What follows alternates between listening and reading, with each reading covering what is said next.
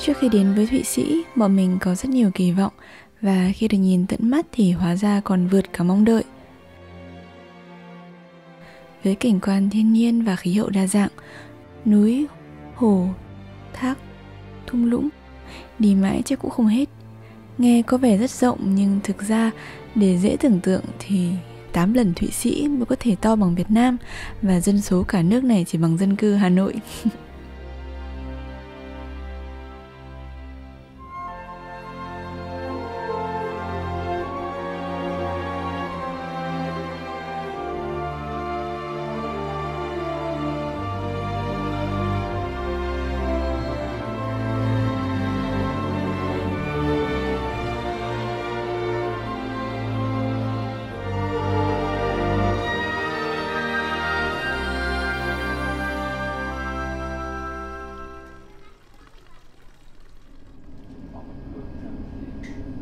Sáng sớm, bọn mình di chuyển tới Interlaken.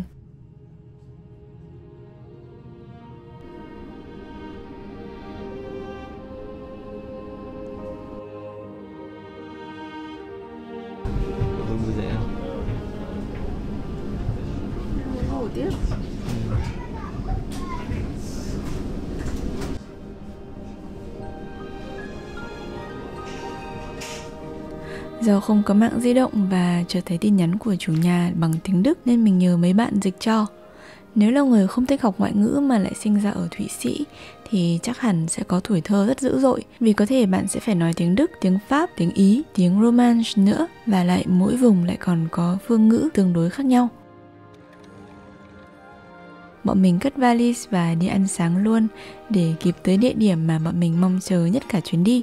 Anh ăn cả hai người thì chúng nói chuyện này.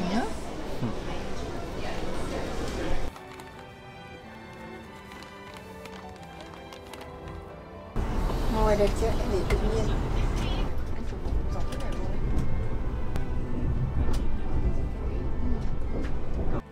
Bleuze là nơi bọn mình tò mò nhất và cũng là nơi ngược đường nhất trong lịch trình. Nhưng vì hôm nay có nắng nên bọn mình tới Bleuze luôn. Thế không, mình đi Bridgeport hay là Canyon Park? Mình đi hết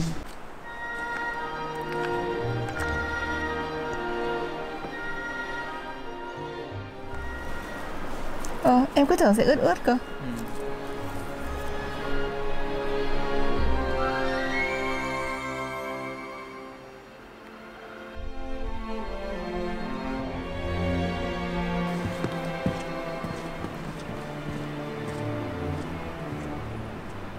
Em nhìn thấy cái hồ Cái hồ xanh ở kia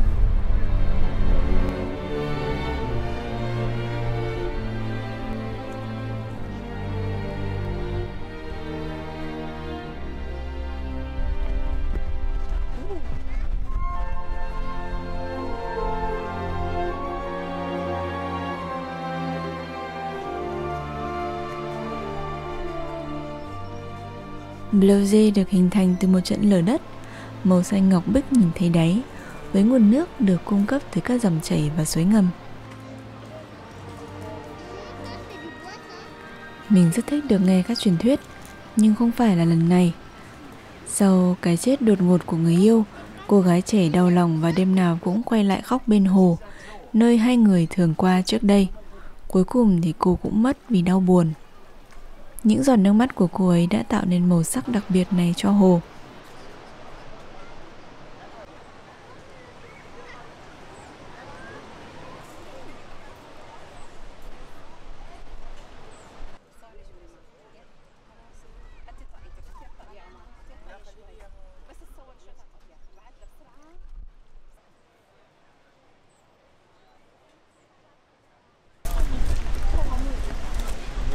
Mát không anh? Bao nhiêu độ? 8 độ C. Sao anh chắc chắn thế? Anh đọc rồi quanh năm hồ đây 8 độ C. Anh đọc rồi. Thả tiền vào này.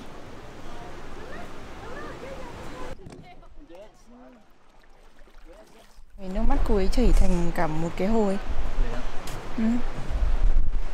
Thông điệp không chỉ dành cho cô gái mà còn cho tất cả mọi người chúng ta. Đây là thời gian để quên nỗi đau, nỗi buồn của quá khứ. Sự hài lòng ở bên trong tạo ra sự bình an ở bên ngoài. Hãy cho bình an một cơ hội. À, hãy để bức tượng này nhắc nhở chúng ta điều đó. Trông có giống hai bạn trai với nhau không? Hai bạn trai. Nấm nè nhưng không ai dám ăn đâu. Ôi non từ nấm. Mang về uh, nấu súp miso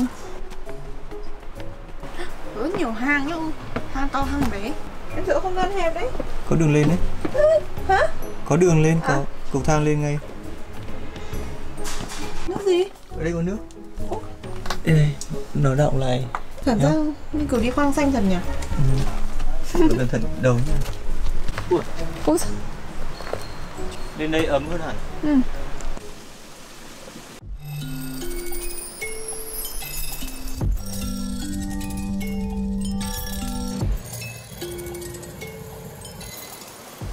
Sau đó, bọn mình đến với thị trấn Thun chỉ để ăn một chiếc kem.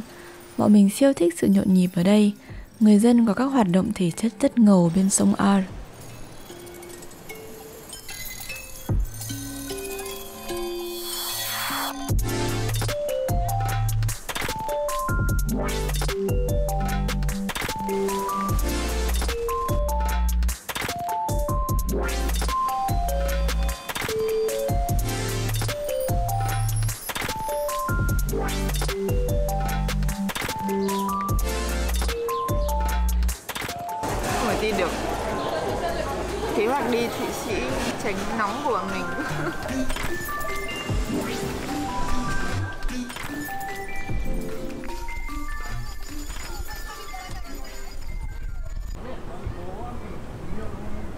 Gọi làm gì? Mệt. Sao mèo đi gầy thế? Là điểm đến cuối cùng của ngày Nhưng do quá mệt Nên bọn mình chỉ ở Speed một chút để nghỉ ngơi trước giờ ăn tối. Anh anh nhìn kìa sao mà mặt buồn. Mặt nó siêu buồn luôn ấy. Mà đang thẳng thốt đó nhưng mà kiểu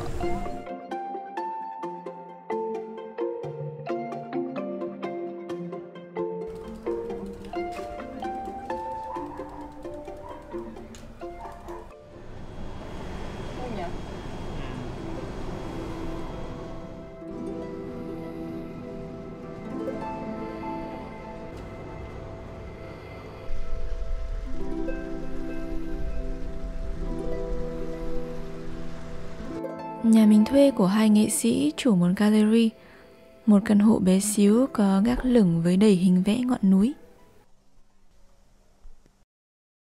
Ngoài kia có người nhảy dù đấy chứ.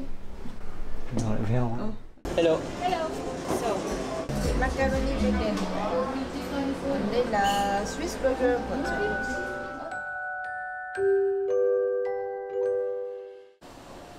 Chào buổi sáng mọi người Hôm nay bọn mình lên đỉnh núi Brins Roton bằng con tàu hơi nước có dáng tròn tròn này. Khi đi được nửa chặng thì tàu phải dừng lại để lấy nước. Tôi đang ở đâu? trên đường lên đỉnh núi Không biết đọc đi nào. Grothon uh, Rothon Kịch, nghe có vẻ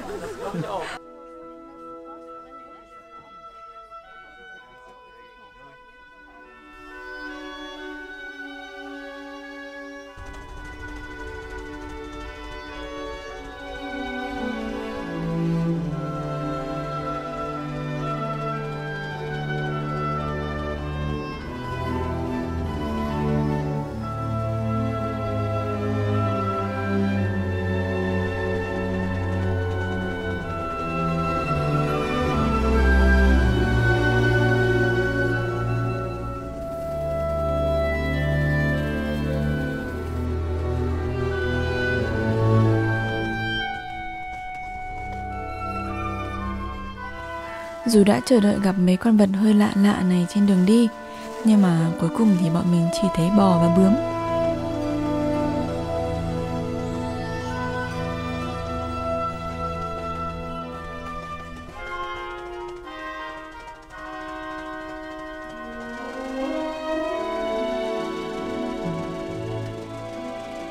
Bây giờ bọn mình sẽ lại đi lên đỉnh.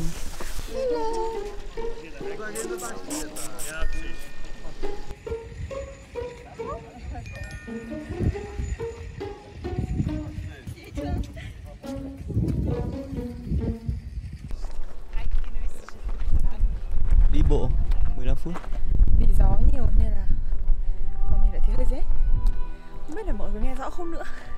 Ờ, họ em khô quá.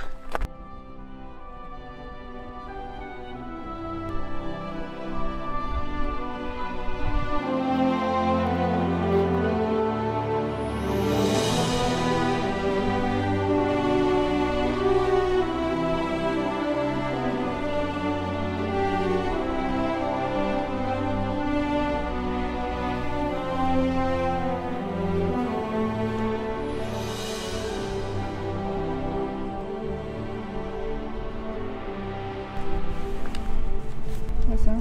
Quảng cáo nơi bán đá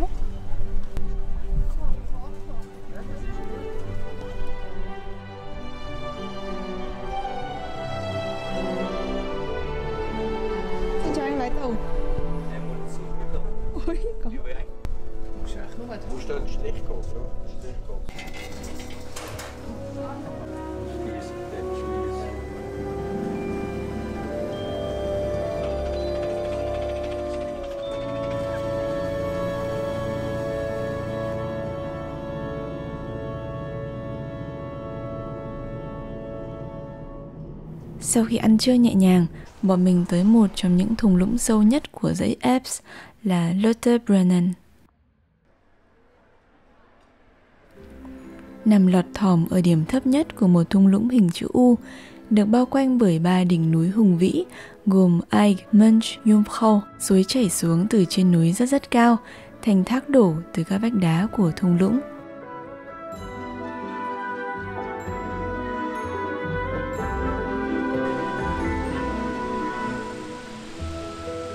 Cảnh quan ở đây rất ấn tượng. Tuy nhiên, dù mình đã nhập hội đứng cùng các nhiếp ảnh gia thiên nhiên, mình vẫn không thể lấy được góc đẹp. Thế là mình đã đi ra khóc khác vắng vẻ hơn để ngắm dê.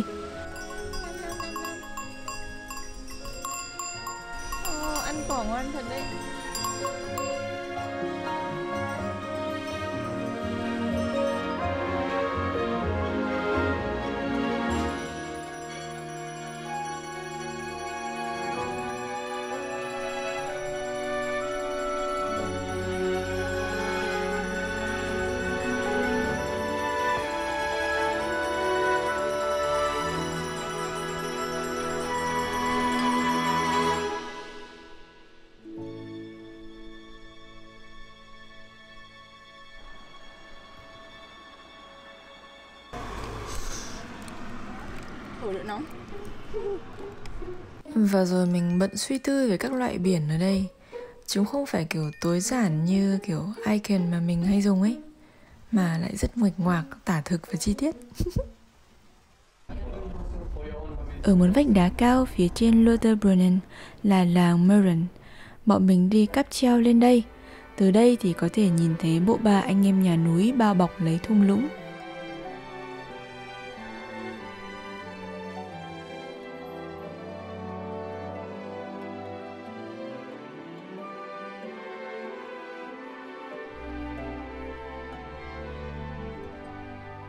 Mình nghĩ sẽ hết sảy khi được tới Meren trượt tuyết vào Giáng sinh vì không khí ở đây dễ thương và cổ tích.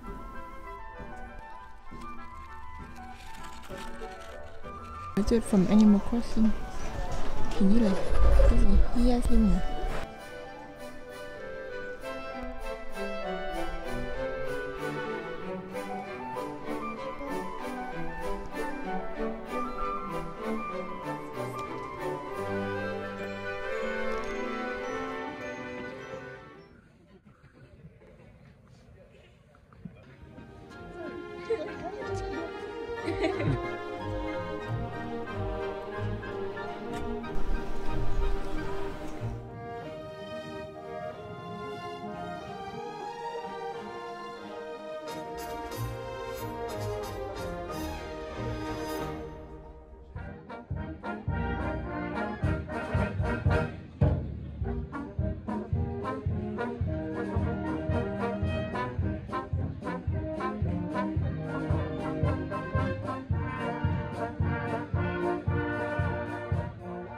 Bọn mình thấy có lỗi một tí với Interlaken vì thực sự đã coi nơi này như một điểm dừng chân. Toàn đi những địa điểm xung quanh chơi thôi và chỉ về đây để ngủ. Nên là tối nay bọn mình sẽ dành nhiều thời gian hơn ở đây.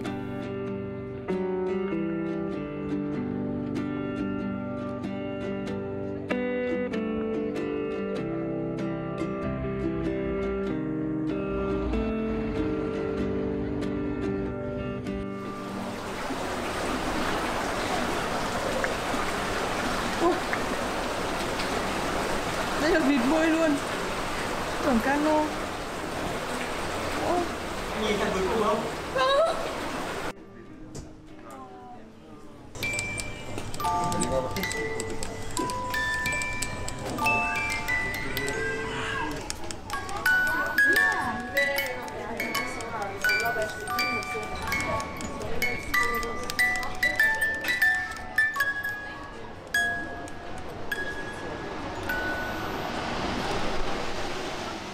Yên bình là một cảm giác ai cũng có khi đặt chân tới đây. Mảnh đất còn được hưởng một nền hòa bình rất lâu đời, ngay cả trong hai cuộc thế chiến. Thụy Sĩ luôn là nơi ẩn náu an toàn cho những người tị nạn, không trải qua bom đạn từ năm thế kỷ qua.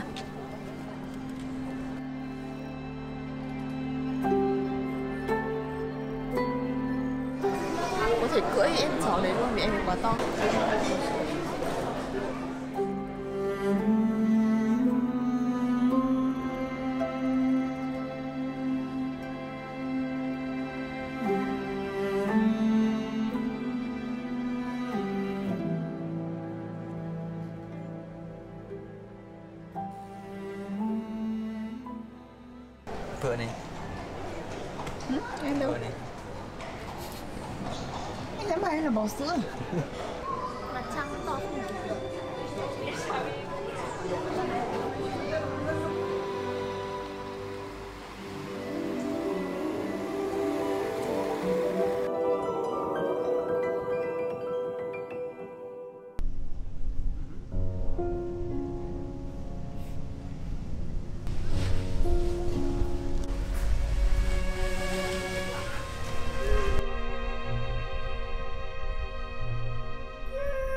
Đã là buổi sáng cuối cùng ở Thụy Sĩ rồi.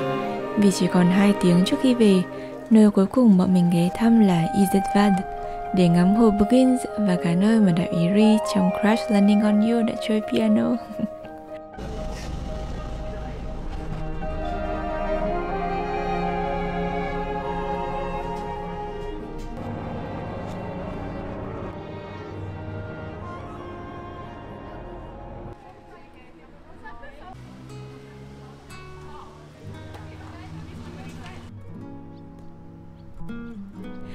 Vì có quá nhiều hồ rộng và đẹp như vậy, Mình đã quên mất là đất nước này không hề giáp biển.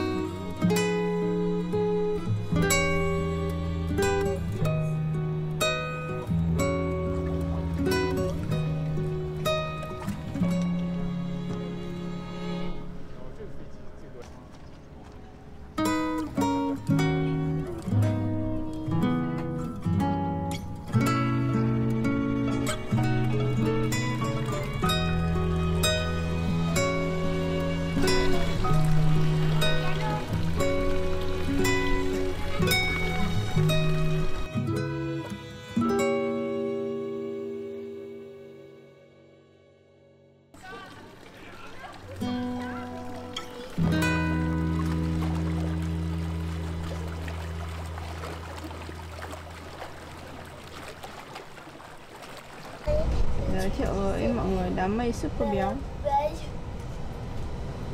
Siêu béo. Vậy là chuyến đi ngắn ngày mùa hè này của bọn mình đã kết thúc ở đây rồi.